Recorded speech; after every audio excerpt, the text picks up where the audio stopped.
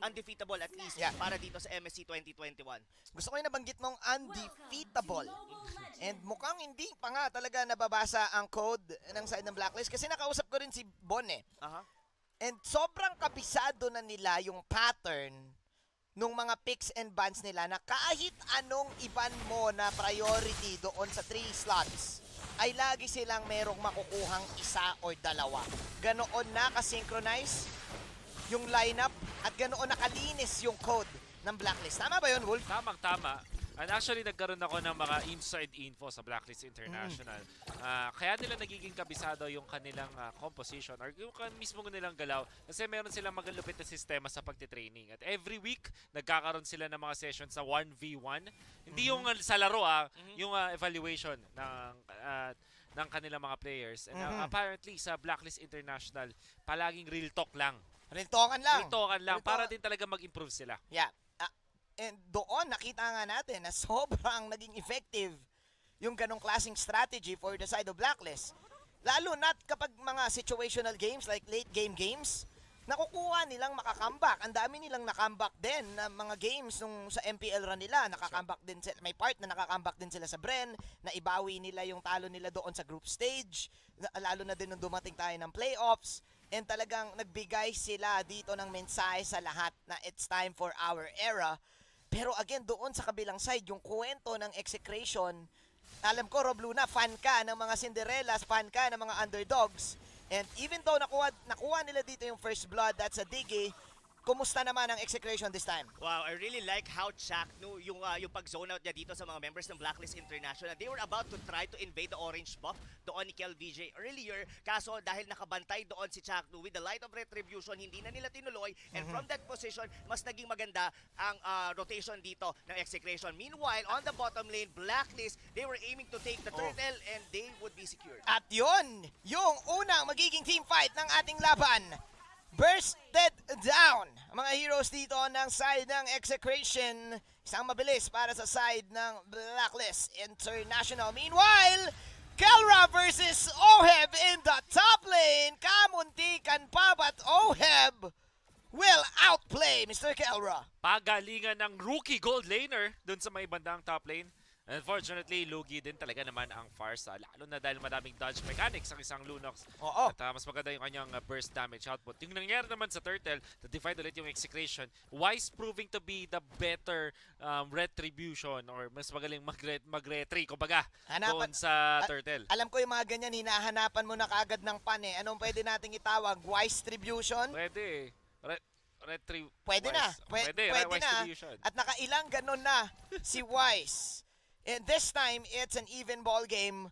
What's happening right now, ka- kaibigang Rob Luna, magre-reset this time ang Turtle. Pero lumalamang na yung mga side lanes ang side ng Blacklist. Yes, uh, yeah, kitang-kita naman natin with the pick-off doon kay Kelra, uh, ni Oheb with the Ludox. Pero kasi ganito eh, uh, for the side of execration dito, they could just simply do it like a passive-aggressive. What I mean is, pwede nilang i-hold lang yung mga lanes, just get the proper itemization dito, specifically with Kel VJ. Mas mabilis naman sila in terms sa, sa pag-ikot all around the map. Ah! And not to mention that, Eto Max, dito, siya yung magiging X-Factor talaga dito para sa side ng execration. Pag umabot na tayo dun sa time na magsasama-sama na yung Blacklist International. But, Oh. there is a kicker. Oh. Kailangan timing nga ng maigi dito ng Vale si Eson kasi siya yung parang counter dito sa mga uh, crowd controls na gustong gawin dito ni Eto Max. Yung Ah. Times Journey, that would definitely cancel a lot of CCs na magagaling sa Exe. Ah, tama ka, Rob Luna. So, ibig mong sabihin dito, ito yung classic technique na ginagawa ng execration. Ang tiis, pogi technique. Tiis-tiis lang muna sila hanggat sa makakuha sila ng magandang positioning. And syempre, na kay Eto Max ang susi to get the windstorm. Pero yung windblade ay hindi niya mapapop dahil pinagsasapak-sapak siya. Syempre ni Edward. Nagto-turtle na this time si Y, si Kelra at si Chakno ay nakabang. There you have it. Ooh. Eson with the time journey to counter out execration. At yung windstorm ay na-dodge. Oh no! KLBJ will fall down. Ang Exe. Nakahanda ang blacklist sa team fight na yon. It could have been it could have been a better fight para sa execration side. Why? Ang ganda sana ng position doon nila Kelra with the flank. Kaso ang ginawa ni Wise, binitawan niya yung turtle, Yep. kinerosion, uh, kinerosion strike niya and pinocus nila doon si Kelra. Hindi niya na-maximize yung kanyang feathered airstrike at kinailangan niya mag-wings by wings paalis. Sa back-to-back na turtle takes, ang execration nakalamang dahil dun sa kanilang pwestuhan. Oh. May extra vision sila dahil sa Popol and Kupa na to. Ang blacklist, DE. ang blacklist, tama. Blacklist, Oo, dahil blacklist. nga yung vision ng traps, tama Rob Luna sa Popol and Kupa na to. Yes. Oo. Oo. At yeah, I, I, I I agree. like the emphasis. Oo, yeah, yeah, bukod doon sa Popol and Kupa na to, may mga digi bumps ka pa Tama. ni. Eson. Sa, so, ibig sabihin, di- binabanggit mo dito, Rob, positioning, execration, tiis lang muna, Mm-hmm. kailangan maland yung tamang skills. Pero because of the traps, Yes. because of the time bombs, paano ka makakaposition kung nakikita ka kagad?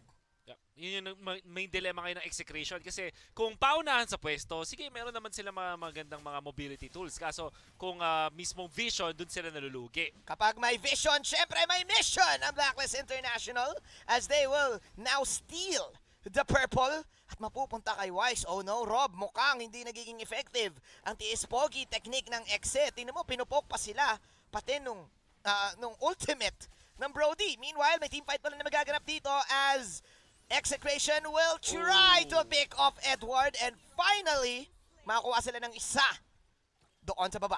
Execration, kailangan nilang i-force talaga dito. They know na nandoon sa taas yung kupunan ng Blacklist International. Might as well take a trade or rather mirror a push dito sa mga out, uh, outer turrets dito ng Blacklist International. Kasi ganito, uulit-ulitin na lang ng Blacklist International to, to kanilang ginagawa. Pagka walang turtle, magpupush tayo ng isang lane. Kasi kung iisipin mo, at this point, in the mid-game, lamang na lamang ang Blacklist International in terms of team fight. Yeah, to, uh, in- sinabi mo yung something about team fight. Kung papansin nyo, walang purify sa side ng Blacklist International. At maraming change na ng execration. So, sobrang crucial ng role ni Eson. Kaya nga naman Yeah. hindi siya nag-feeding digging. Kaya sobrang uh, kailangan yung kanyang pwestuhan at yung kanyang timing with the time's journey Yeah. ay maganda. Otherwise, yung execration, they can, uh, pwede silang bumawi Yeah. kung uh, team fights na usapan. Kaso, hindi nangyayari yun. Yeah, da- dahil nga napakalaking tulong ng time journey Mhm. ni Eson. Pero alam nyo, kahit na kahit na yung execration ay nalulugi sa team fights, eto na naman eh, tumatagal na naman yung laban. Third Yes. turtle na to, and ilang beses na natin nakita to, na pag umaabot tayo ng 12 minutes, full items, doon biglang nahihirapan yung blacklist, lusutan Yes. yung exe. So ngayon, may time bomb ba ang blacklist na kailangan tapusin nila kagad yung laban? Uh, yes, definitely. Kasi meron sila, nagra-run sila ng Brody. At kung ikukumpara mo yung kanilang damage output sa execration, yung Exe, meron silang Farsa, meron silang uh, Benedetta, tapos meron silang Veil. Late game monsters. Pag sa burst ang usapan. Kaso nga lang, Manjin, ang tricky doon is sobrang lakas naman ng Blacklist sa mid-game. Parang ganito, nako! Malakas din ang pag-pick off ng XM. Meanwhile, nasa likod na si The Queen, The Trio na meron ang, X, ang Blacklist, I mean.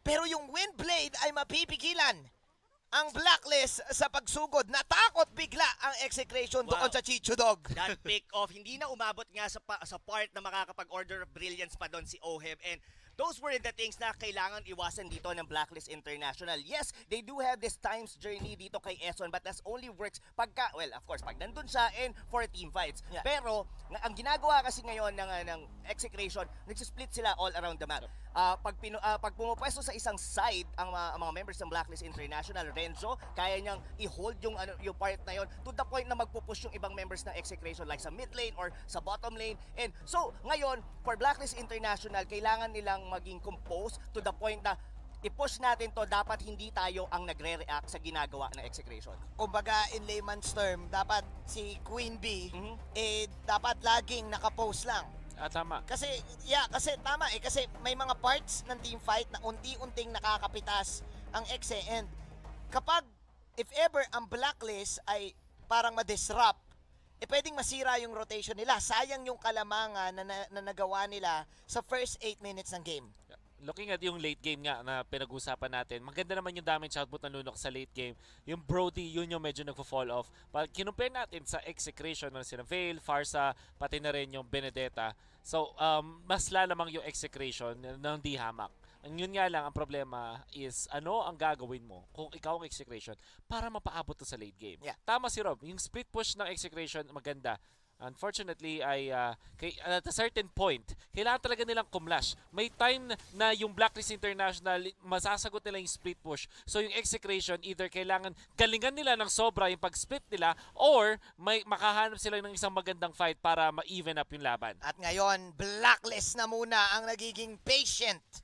Dahil dyan sa binanggit mo, Wolf, ang taas ng lead nila kanina pero unti-unting humahabol ang Exe. At ang ganda rin kasi ng depensa ng Farsa. Yes. So hindi basta-basta makalapit si The Queen. Tingnan mo, yung ginagawa ni The Queen ngayon, ginagamit niya na lang muna si Kupa to at least uh, damage the tower in the mid. Yeah, ito yung tin- tinatanong ni Wolf, ay sinasabi ni Wolf kanina, is kung paano didepensahan or paaabutin sa late game ng Execration. Pero hold that thought, it looks like Execration wants to force a team fight sa Blacklist. Okay, pero mukhang poke lang muna yon Rob Luna dahil merong cha-cha dance na magaganap. Ito yung umpisa ni Renjo as yung mga time bombs will hit and poke out heroes. Nabanggit nyo dito yung split push. We're now looking at the mini-map. Edward doing Edward things sa top lane.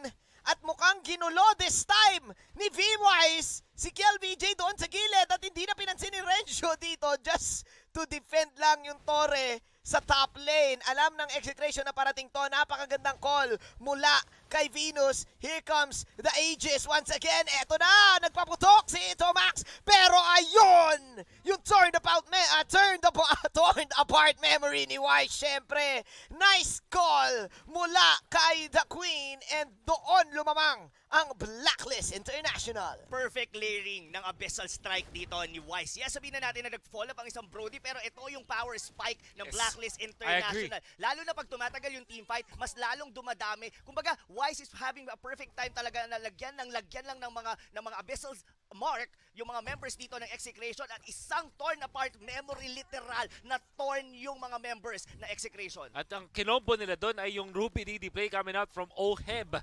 Na tinalunan nga niya yung mga backlines ng execration. Saktong-sakto. Kahit ba unli dash ka kung ikaw ay isang ah, ang Benedetta at yung Farsa mo kahit mab- mabilis. Isang flicker ulti ng ah, combo ng isang Lunox. Talagang matutunan sila. Tapos nilayer nila ng sabay Yeah. with the turn apart memory. Kaya ang sakit talaga. Tunaw Nation. At tunaw din ang buhay ni KLBJ.